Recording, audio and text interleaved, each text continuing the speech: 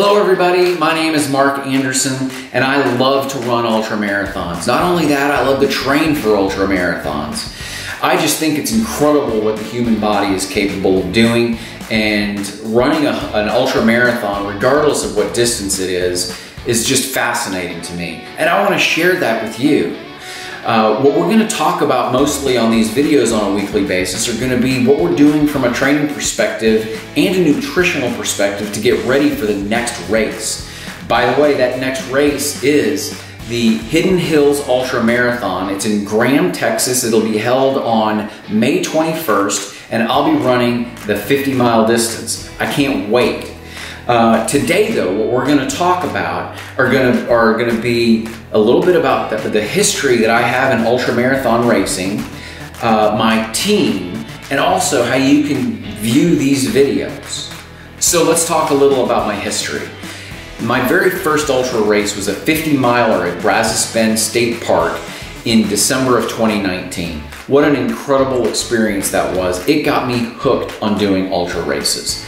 Since then, I've run three 100 kilometer races or 62 miles. And most recently, in February of 2022, I did my very first 100 mile race. I did it in 20, a little under 22 hours. Again, an incredible experience. Let, let me tell you a little bit about my team. There are four members of my team. First is Branch. He's our German short-haired pointer.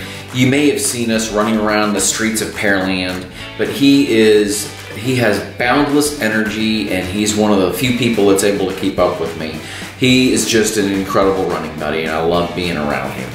Second, Jesse Zavala. He is part of Mind Right Endurance. He is the guy that helps schedule my running and strength training and uh, even my yoga routines to make sure that I'm as flexible as I can be.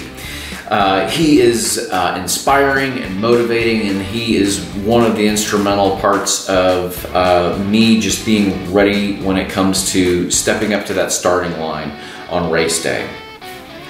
Third, there's Lisa Ferrara. She owns Focus and Fit Nutrition, and she's the one that makes sure that I am putting the right things in my body on a daily uh, basis as well as on race day. One of the conversations that we have leading up to race day all the time is what is going to be on the at the aid stations during the race. And we're making sure that on my longer runs that I usually run on Saturday or Sunday, I'm consuming those foods on uh, during those runs so that my body is ready to eat those foods come race day. Last but not least, there's Trish, my wife. She's unbelievable. She's patient enough to allow me to get out and do all of these crazy long runs on the weekends. And come race day, she is there to provide me whatever I need uh, when I'm uh, at the race. Whether it is moral support to get through the last lap at a 100 mile race, or simply provide me with a change of shoes, she's got me covered. And I don't know what else to say about it. She's just incredible. Finally, let me share with you where you'll be able to find these videos. First, you'll be able to find them on YouTube. Please subscribe to our channel, it would really help us out. Second, you'll be able to see it on Facebook and Instagram, both on my personal as well as business pages.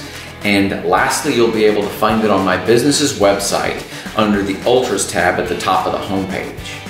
Thanks so much, and you guys have a great day.